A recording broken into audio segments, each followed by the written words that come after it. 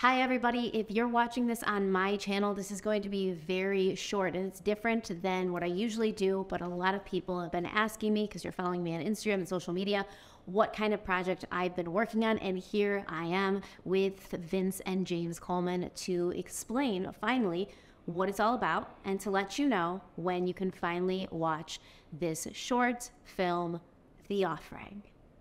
Yeah. So, guys, come to our channel. You'll see us do a, a little brief interview with Stephanie as she interviews us as well. And uh, yeah, we'll see you there.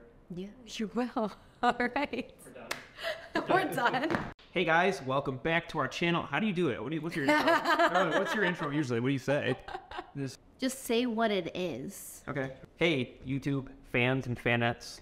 Uh, Go. Okay. You got this. I think you Hey, should just keep trying. This is going all in the blooper reel. Hey YouTube, welcome back to our channel. I know it's been a while since we posted a video. As always, I'm James and this is Vince. And now we're here with Stephanie Harlowe of. Stephanie Harlowe on YouTube. Check, yeah, tell us about what you do, Stephanie. I do true crime videos on YouTube, and also I am, you know, recently been acting in a little movie that, you know, somebody I know wanted me to be a part of. And that's what we're actually here to talk about because I've been posting a ton of stuff about the projects that James and Vince are working on, and everybody wants to know more about it. And I don't know, I just didn't think Instagram was the right place to do it. So I wanted to make something that we could put on YouTube so everybody could watch it if they wanted to. So we're here today. We're going to do a little Q&A. We're going to talk about the film, which finally has a name, right? Because the name changed. What's the name now?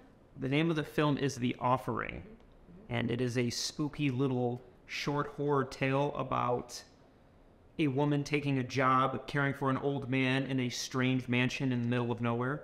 All right. So let's talk about this new project. Right now, it's just a short, correct? It is a short. Uh, so you know, guys, we uh, we did Halloween Inferno, and you know, it, it, it definitely took its uh, it definitely took off in a good way, and it kind of really propelled us into making the Burnt Over District, which is our feature film that is uh, doing very well in the film festival market right now.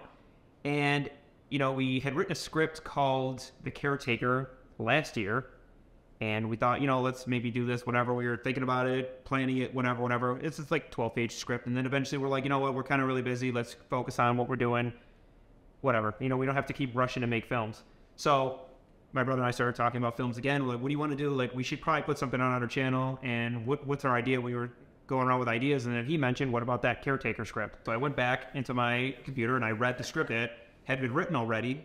And then we thought to ourselves, you know what? What could be a beneficial thing to this short as far as what can make people watch it more? We thought, hey, why don't we reach out to our new friend, Stephanie Harlowe, who we had done some uh, video work with, with someone else that we don't want to mention, He who shall not be named. he who shall not be named.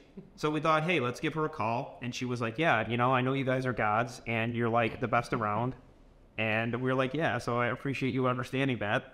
And then she said, sure. So what was your input when we asked you about doing this? Now, I, I feel like um, I feel like you guys said, "What's your acting ability like from one to 10? And of course, me being who I am, what did I say? I said ten. She said 10. She was very, I don't actually know if it's a ten, but I guess you'll be the judge.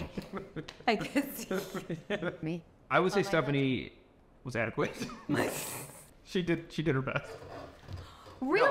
So so for her being a YouTuber, you know, you asked a question like, you know, can can you act? Because you know, a lot of people go that route. Like, let me throw some YouTubers into it. You see movies nowadays that have YouTubers in them, and it's it, it's hit or miss. You know, some of them can act, some of them can't. And you know, I, we we want to make something good, regardless of regardless of what the outcome is. You want to make a good film, so you want to have someone in there that can portray the character you're trying to portray. So I sent her the script. She gave me a read through, had her ideas of her own, which is always a good a, a good. uh It's always a good. What the hell's the word I'm thinking of? Uh, thing? A good thing. that's always a good thing when someone has input on a character instead of just you know reading the lines verbatim that gets a little boring so we talked a little bit more and she said you know i think i can pull this off and to our delight she came on set she was professional she pulled off the character in her own little way and i think she did a very good job i'm very proud of her I was also like resilient, right? Like I ran up and down the stairs a lot. she ran up and down the stairs a lot she did Right. she uh I feel like I did all their stuff. she, That was like super impressive. she got puked on Oh, I did get puked on. she did I thought you said no spoilers. Yeah, that's okay. That's okay. I mean, at least they don't know when it's going to happen. They just know it will happen. it will happen. So no, she was uh, you know. Oh, I was so pissed. Oh my god, I was so mad when that happened. If you've never been thrown up on, you don't understand the rage that fills you like a heat from a thousand burning suns inside of your chest, and it just feels like you're like an anime character. You're about to like explode. Something tells me that's not the first time you've been puked on. It's absolutely the first time I've been puked on. I can still feel it. I can still feel it, like the warmth of it. It was a piece. It was a one take wonder. It had to be. I felt like you were targeting that whole time you was getting noodles. You I was thought it was targeting. in my lap, dude. It's down No, my no, no. I shirt. saw for that oh, bowl. Oh, it's down my shirt. All right, get over here. Come on. Damn, Silent. moist. We're blood brothers for life. Puke pals. It is a puke that binds us.